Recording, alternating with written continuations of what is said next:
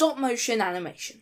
It's creative, timeless, and very, very expensive. There are only a handful of stop motion animated films out there, and probably the most well known studio for doing this is Aardman. I ranked Aardman films a while back in a pretty crappy video, and looking back at it, there was only one part that I really didn't do extremely well considering when it was made. And despite what my family wants me to say, it wasn't my ranking of pirates. It's the fifth best. Get over it. But it was my review of Wallace and Gromit and the Curse of the Were Rabbit. I just said you'd like it. No explanation, just a quick it's Wallace and Gromit, so it's good. And while that is very, very true, I feel like going into detail about it. So hi, my name is Animation Review, and today I'm going to review Wallace and Gromit and The Curse of the Were Rabbit. The film starts off with the DreamWorks logo appearing as the music swells, before stopping the grandeur and turning into the playful, iconic Wallace and Gromit theme, as we see Wallace and Gromit's history of friendship through a series of pictures that manage to both show their friendship brilliantly while also being hilarious. The fact that these events were photographed not only makes it hilarious, it also shows the lengths the people of Aardman are willing to go to. They could have just put in the title screen along with the film, but instead they handcrafted all of these pictures. They gave Wallace a new vest,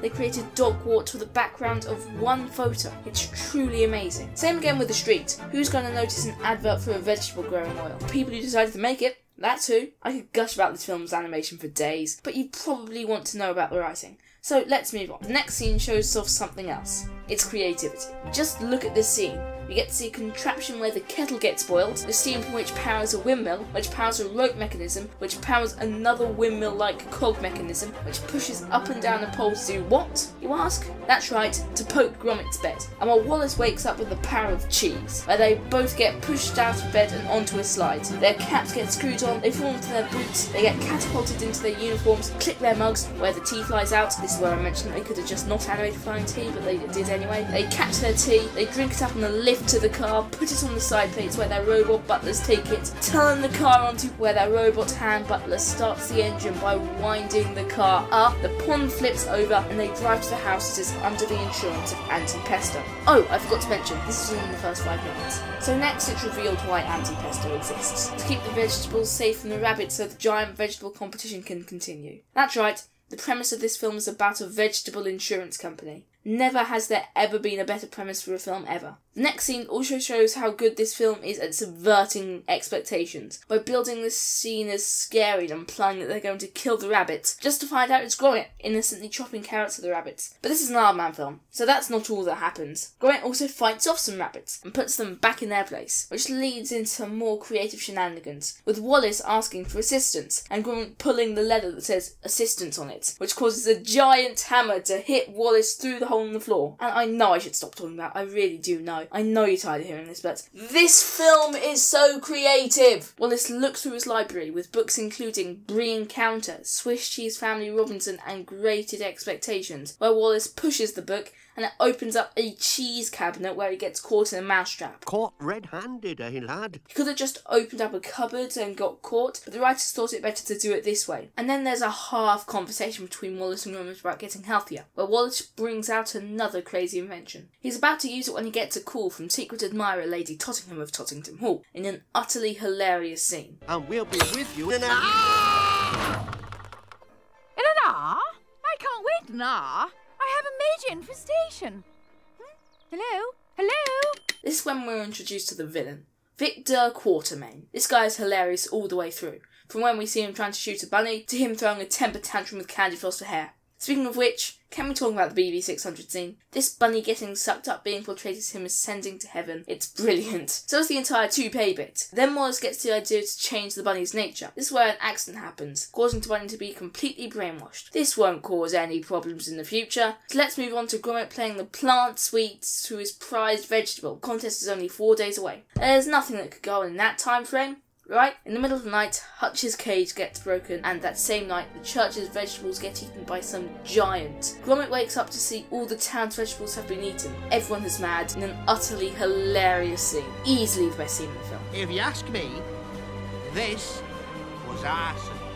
Arson? Aye, someone arsing around. This causes Wallace and Gromit to go out and trap the were-rabbit, with a female were-rabbit on the roof of a car being controlled by Gromit. So we all know there's going to be some hilarious bridge shenanigans, and while at first it seems like a joke, it allows the next scene to build up tension so effectively, and clues to the true origin of the were-rabbit. Something's happening outside the car. Gromit honks Wallace, and Wallace doesn't respond. And a carrot falls on the car. Gromit sees a shadow in the distance and decides to investigate. But this isn't a horror, this is a comedy, and a comedy made by Aardman. So we get another wacky, hilarious car chasing, and it's hysterical. So in chasing the were-rabbit, Gromit hooks onto, nay, even lassos onto the rabbit, where his car goes through a hedge and burrows underground, where he finds a few garden gnomes, some vegetables, and a heavily locked greenhouse. Not just the contents of the greenhouse, but the entire greenhouse. And after getting out, he demuds his car, because of course that's a feature, I'd be disappointed if it wasn't. Where he then goes into his house, find it damaged and attacked, presumably by the were-rabbit, where he finds Wallace dealing with hundreds of calls in the living room. Wallace is beyond annoyed at Gromit. Not knowing where he was last night, Gromit is focused much on the lab downstairs, where Wallace follows and they both find out about Hutch, thinking it was him who became the were-rabbit. Well, at least Wallace does. Gromit seems a little skeptical. Wallace is going to tell Lady Tottington the good news about them capturing the were-rabbit. Gromit decides to build a cage room. This isn't just proportional to Hutch's new size, it's completely massive. Then Gromit investigates further into the paw tracks that are prominent around the house. And after investigation, it seems like they lead into Wallace's room, where Wallace opens the door and sees vegetables. This part is amazing. It's the perfect juxtaposition, and it's great that the way we find out for certain that Wallace is the were-rabbit isn't with a were-rabbit scene or a Wallace scene, it's with Gromit seeing half-eaten vegetables all over Wallace's bed. And the bells at the end of the previous scene transition perfectly into the next scene, where Wallace is at Lady Tottington's house, telling her about the good news. And now that we know that Wallace is the were-rabbit, we start to see him employing more rabbit-like characteristics, with him stomping his foot down quickly or eating a flower, while Gromit engages in a fast-paced chase to Tottington Hall. And when he gets there, Wallace is already at the secret vegetable garden and is threatening his reputation and his relationship with the lady. And of course, the crazy Victor Quartermaine decides to block the main route and the forest route and start fighting Wallace, who then turns into the were-rabbit. And Victor smiles maniacally because now he can kill Wallace, which is when he turns to the vicar, who is hysterical in any way, always completely crazy and cracks up at everything. There are about six laughs in this scene, from pro num wrestling to 24 karat gold to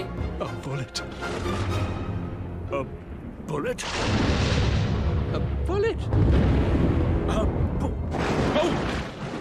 The next day, Wallace wakes up, and for the first time in this film, doesn't need assistance. On top of that, there's another difference. His rabbit ears. Gromit tries to tell him that he's the were-rabbit, in the only scene where the communication barrier is a proper issue. Gromit has to point to the newspaper and then to Wallace to get the message across. But that's just an issue with the half-silent duo. That's gonna happen sometimes. And it's made up for with the fact that the newspaper tagline is, The paper with its finger on the pulse, which is just great. This is the bonus of an animation style that requires you to create everything you see on screen. You get a lot of jokes that would otherwise be impossible. But other than that, Wallace suggests that next Gromit is going to say that Hutch is turning into him, which gives Gromit the idea of showing Wallace Hutch. But he realises that he is turning into the were-rabbit. And Wallace, realising that he is a rabbit, gets a knock at the door. And Lady Tottington arrives to tell Wallace that she has let Victor kill the rabbit. In another action-packed scene that may have lower stakes, but still has a key role in the film. This then leads on to a scene of Gromit luring Wallace, now the were-rabbit, outside, where Victor shoots Gromit's costume from earlier, and while everyone else thinks he's dead, Victor finds the truth and locks Gromit in a cage, before going on to the competition and trying to find the rabbit, while also not trying to raise alarm. The beast isn't actually there. It doesn't go well. In the meantime, Gromit is stuck in the cage when he gets the idea to call Hutch, and this is really the peak of his character. Didn't mention it earlier, but Hutch is a bit too annoying. When portraying the worst of Wallace, they make a few too many gross out jokes seemingly intended for young kids. So to see him come and save the day in the usual Wallace fashion was pretty good.